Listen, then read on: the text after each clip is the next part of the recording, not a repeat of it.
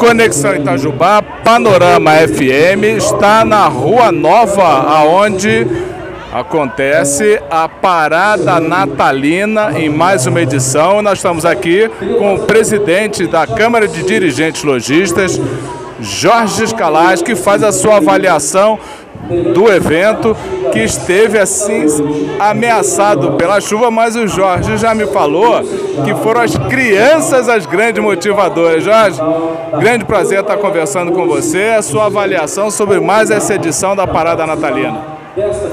Boa noite, Otávio. Boa noite, ouvintes da Rádio Panorama. É, essa é a 16 Parada Natalina, tradicional evento não só da CDL, mas agora abraçada pela cidade, né, pela população, que anuncia a abertura do comércio em horário estendido, que é uma vitrine itinerante onde as lojas, as empresas podem trazer e, e mostrar para a população seus produtos, suas promoções e trazer um pouco do espírito do Natal é, envolver a sua equipe, seus funcionários e alegrar o centro comercial. Então, nós estamos muito felizes por mais um ano de sucesso da parada, onde tudo correu como o planejado e mais uma vez movimentando o centro e trazendo as pessoas para a rua.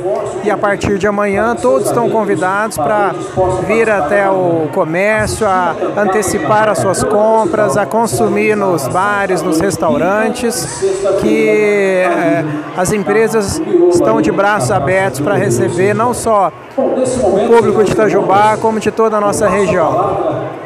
É, o que o presidente está chamando de amanhã, na verdade, é quinta-feira.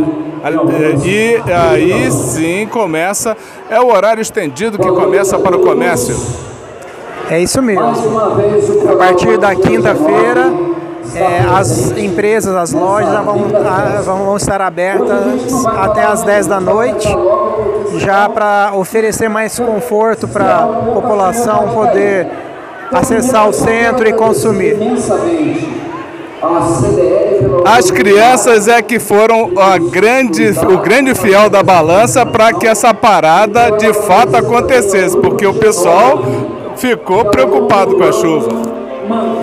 É um pouco antes da parada, a chuva já vinha intensa e a gente caminhando aqui pela Rua Nova, a gente via as crianças na expectativa, né, já com os pais aguardando a parada e a gente tinha certeza de que ela tinha que acontecer e realmente aconteceu e a gente teve a alegria de desfilar na parada sem uma gota de chuva.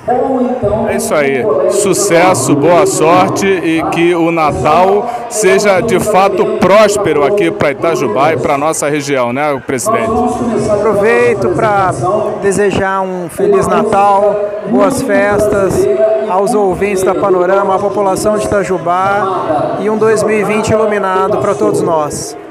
Esse é o presidente da Câmara de Dirigentes Logistas, Jorge Calais, aqui no, na sede da Câmara de Dirigentes Logistas, da CDL, falando ao Conexão Itajubá, nas ondas da Panorama.